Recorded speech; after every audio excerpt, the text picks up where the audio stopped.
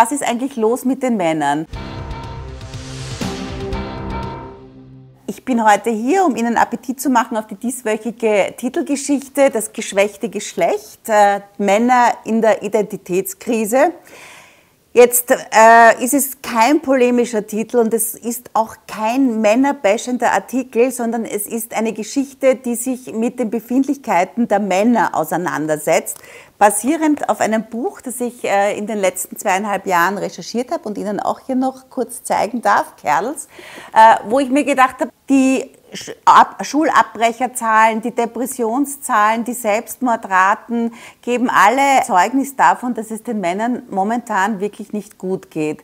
Äh, ich habe versucht, in dieser Geschichte Fragen zu beantworten äh, warum Männer für Rechts, den Rechtspopulismus so leichte Beute sind, warum sie so hinterherhinken, was Ausbildung und äh, Schul, äh, Schulbildung betrifft, äh, woher ihre Ängste kommen und warum diese Selbstmordrate wirklich dreimal so hoch ist wie bei Frauen, obwohl die Depressionsrate eine weit geringere ist.